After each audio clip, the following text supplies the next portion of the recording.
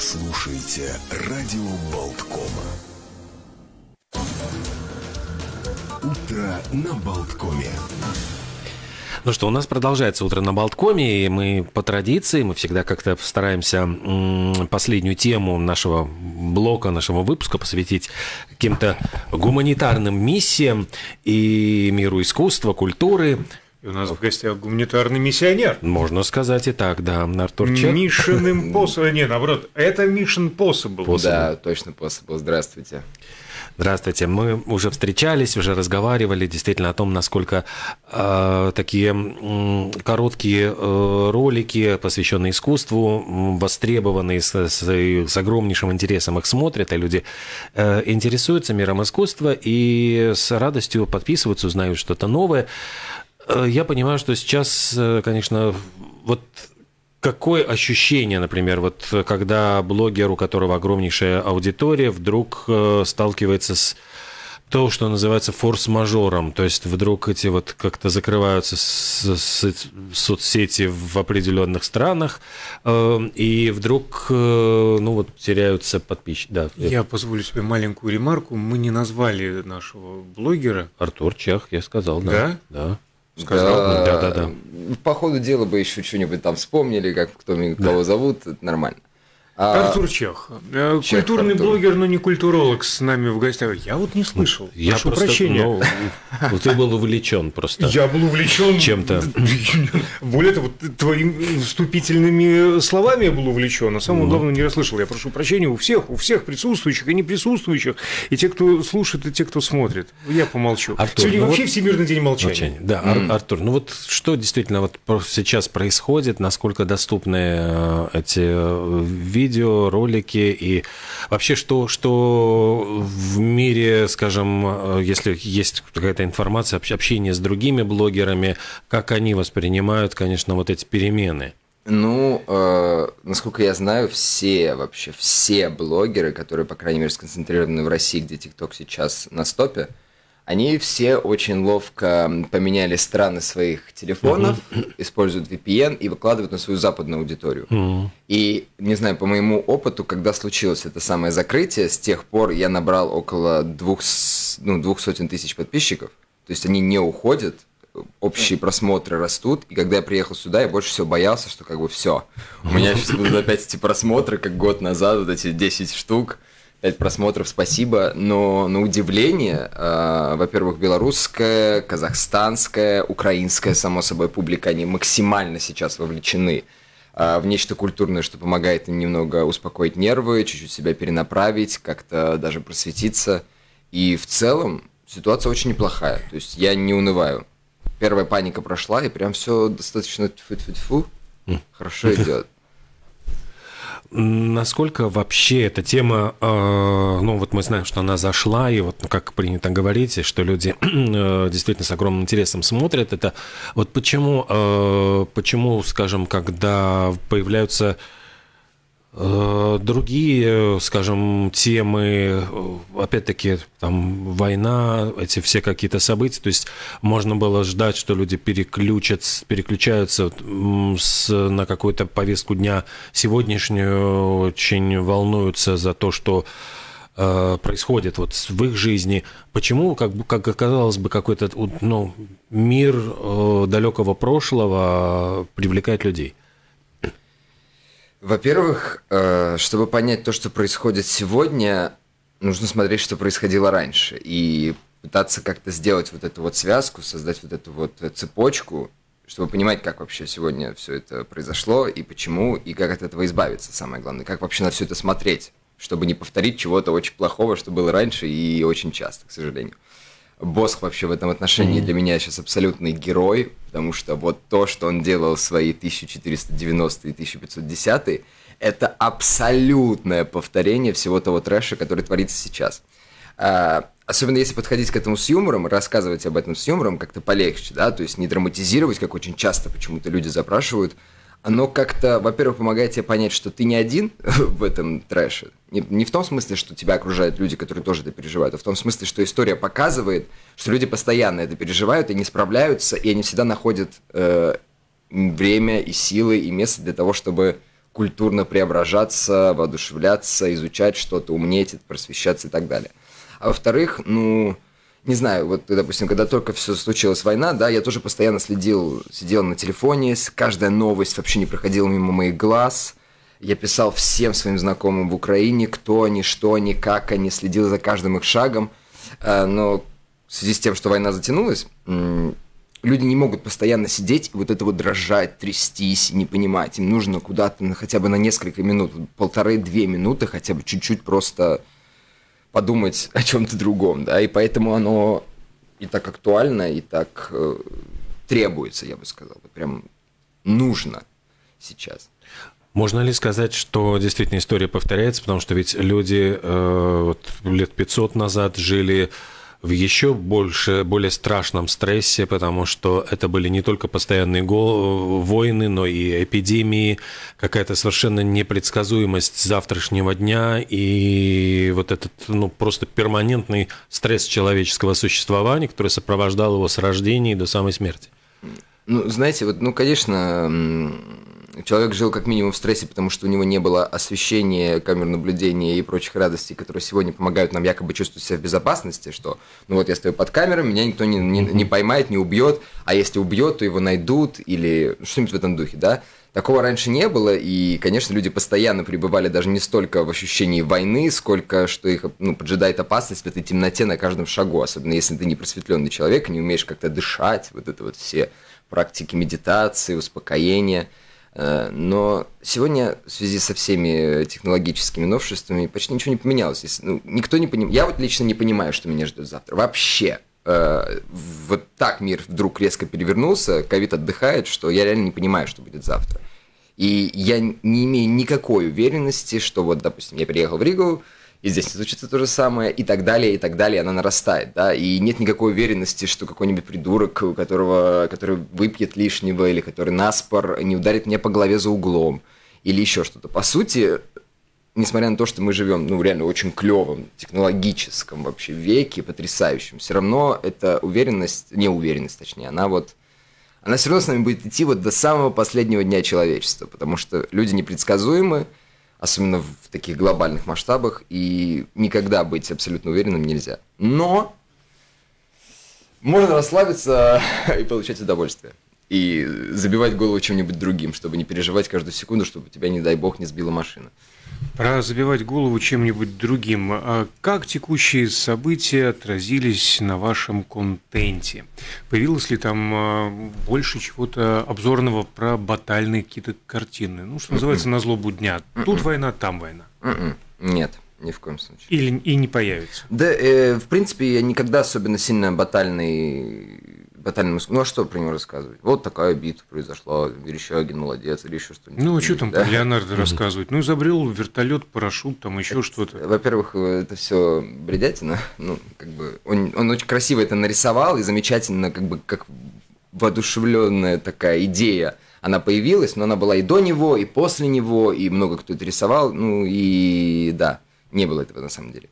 Я не знаю, я предпочитаю сейчас концентрироваться на биографиях каких-то таких вот роковых для истории искусства художников, которые его ну, резко перевернули. Ну, типа Матисса, угу. или если мы берем по классичней, то Рембрандта. То есть эти люди, которые вдруг настолько прозрели, что такое сотворили в искусстве, то есть они перевели его в совершенно иное пространство. Или эм, я предпочитаю сейчас концентрироваться на мифах Древней Греции, я просто не могу, это такой детектив, просто за этим можно наблюдать десятки дней, вчитываться, сравнивать, подгонять.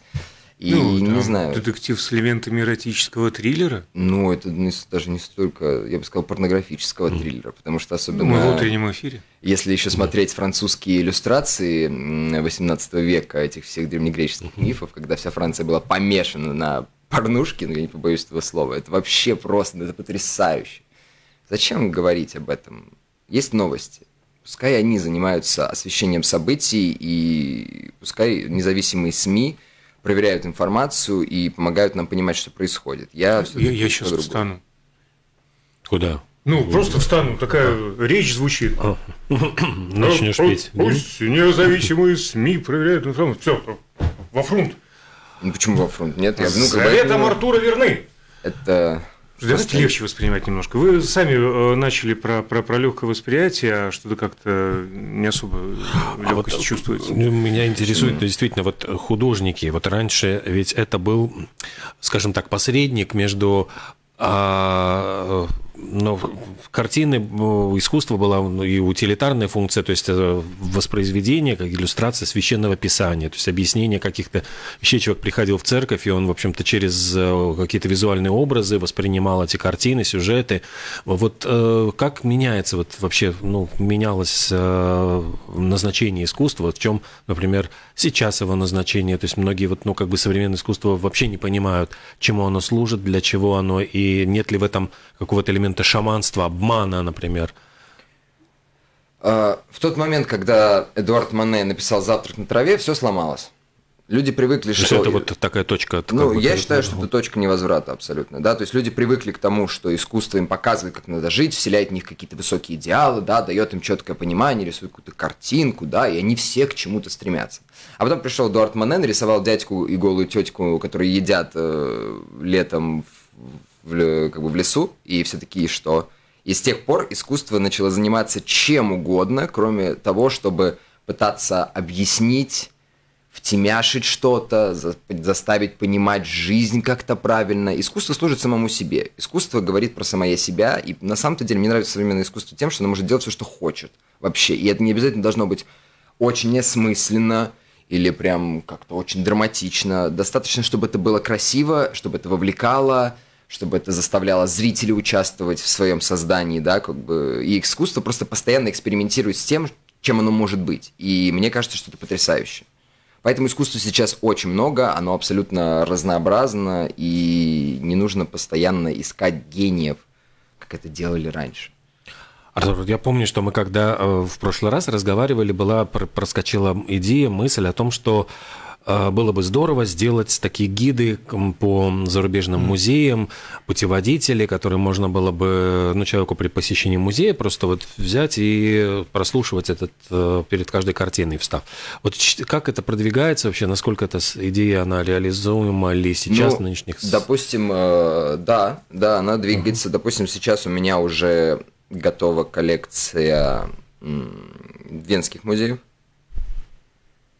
А, готова, готовится сейчас коллекция брюссельских музеев, потом будет Рим летом. Но когда, как и на каких условиях я буду это в готовом, вот прям красивом виде выпускать, я сказать пока не могу, к сожалению. Нет, ну а насколько действительно эти все... Э, я знаю, что музеи относятся достаточно ревниво, и, например, в России там даже была, я помню очень хорошо, а, дискуссия Венедиктова, я не помню, по-моему, с Петровским, когда вот а, они спорили, Венедиктов говорит, слушайте, вот э, почему э, Эрмитаж, например, вот запрещает ну, проводить э, какие-то нелицензионные, то есть это можно делать только через руководство Эрмитажа. Ну, потому что денежка. Да, ну да, ну понятно, что денежка, но с другой стороны говорит, а вот если я приду с племянником и начну ему рассказывать, вы меня вот там выведете из зала или нет? На что Петровский говорит, ну если вы будете каждый день приходить с другим племянником, то, наверное, у нас, значит, возникнут вопросы. Мы вас вы... В общем, они долго спорили, дискутировали, но вот как вот это согласуется, например, ну вот э, путеводитель, например, по, там, не знаю, Венскому музею, а Венский музей говорит, а это же, извините, про... стоп, простите, это же наши экспонаты, это наша как бы вотчина. Да, как-то с музеями договорились, нет? А, ну, ну, допустим, когда я был в Бельведере в феврале, mm-hmm. я говорил вообще в целом, что давайте-ка я бахну вам на русском языке, то есть делайте с этим, что хотите, просто пускай это буду я. Они сказали, да-да-да, и сказали, да, да, да, хорошо, конечно. Ну, а ну, потом... Ну, а бахну в каком виде? Ну, это просто аудиогид записать аудиогид, да, да, приложение да, какое-то. Не, вообще, на самом деле, приложение это точно мимо, потому что это очень сложно. Ну, как бы я не разбираюсь совершенно в IT, но как бы сделать хорошую штучку, которая будет у тебя в телефоне четко тебя направлять, это очень, ну, это большая работа и требует больших денег, это же очень дорого, как бы. Было бы круто, но, скорее всего, это невозможно. Да, это будет аудиогид, но который просто как бы вот ты заходишь на сайт Бельведера, тыкаешь две кнопки, он тебе предлагает. А, вы можете купить себе аудиогид либо на кассе, либо в интернете, да, скачать mm-hmm. какой-то файл, который вы будете у себя, у себя прослушивать. И он стоит там порядка 6-8 евро. Непонятно, кто это будет, непонятно, как это будет э, озвучено, насколько это будет хорошо. Э, скорее всего, это будет студийная запись какая-то, но с вероятностью в 87% это будет какая-нибудь старушка, которая угу. одну за другой картинку будет тебе рассказывать, какая она талантливая. Этого хочется избежать, но... Ужасно, потому что нет, сразу вспоминаешь детство, когда там приводили несчастных детей за руку в музей, там в левом углу картина изображена, и вот это все стоят и мучаются, господи, когда это закончится, скорее бы убежать, это, ну, это как-то... Просто эти, ну, как бы вот эти люди, которые ведут экскурсии, это большие профессионалы, если это не какой-то современный музей, куда привлекают студентов или mm-hmm. просто ребят, э, давайте мы вам дадим кучу инфы, коллекцию, а вы ходите зарабатываете денежки. Они такие, да, конечно, они рассказывают то, что прочитали про подготовленный материал про выставку. Вот, вот эти вот гиды в больших музеях, это большие профессионалы, которые там работают, если это не сторонние приглашенные туристические гиды. И у них очень часто задача заключается не в том, чтобы вовлекать зрителя своим, э, своей персоной воплоти, да, здесь и сейчас. Они все-таки пишут какие-то работы, они изучают, чистят, реставрируют, следят, э, перекомпоновывают, то есть развешивают. И у них нет задачи кого-то впечатлить, да, их просят, как бы, расскажите информацию. Они зарабатывают денежку в музее и рассказывают, как могут. У них нет этого опыта постоянного выхода на публику. И, конечно, было бы здорово, если бы все музеи всех вообще стран к экскурсионной деятельности привлекали бы вот ну, каких-то харизматичных, интересных профессионалов, которых очень много. Но не, не делают. Потому что вот мне кажется, что э, ведь э, нужен, ну то есть любому музею, любому собранию искусств нужен некий транслятор между этими произведениями и публикой, потому что э, если человек ну, просто приходит в музей, перед ним вот какое-то собрание этих артефактов, и он, может быть, не знает ни истории, которые э, сюжеты, истории самого художника. То есть там масса вот информации, которая мимо, и восприятие совершенно другое.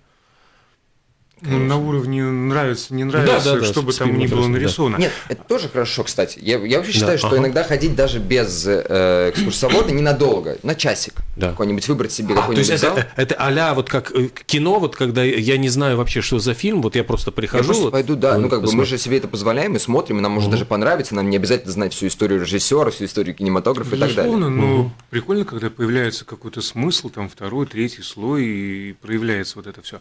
А скажите, э, насчет запроса как раз всей этой информации. Э, насколько популярны музеи вообще в принципе в современном мире? Ну, по крайней мере, на той территории, которая вам известна. Э, вот все это кино, прочее, а не отбивает ли оно вот, интерес именно к искусству все равно современному или классическому? Мне кажется, что нет.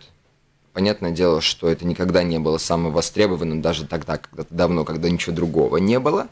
А, всегда, на самом деле, любой обычный человек, неважно, богатый он аристократ и страстный коллекционер или крестьянин, он всегда, на самом-то деле, предпочтет не смотреть на эти перегруженные стены с картинами, а пойти на какой-нибудь праздник, который устраивали те же самые художники. Они оформляли штандарты, костюмы, делали декорации, как тот же самый Леонардо да Винчи, да, и приятнее было смотреть не на эм, э, тайную вечерю, которая рассыпается в монастыре, а было приятнее посмотреть на какого-нибудь огромного механического льва, которого придумал Леонардо, у него раскрывалась грудь, оттуда вылезали цветы, по небу летали ангелы, э, сцена ездила вверх-вниз.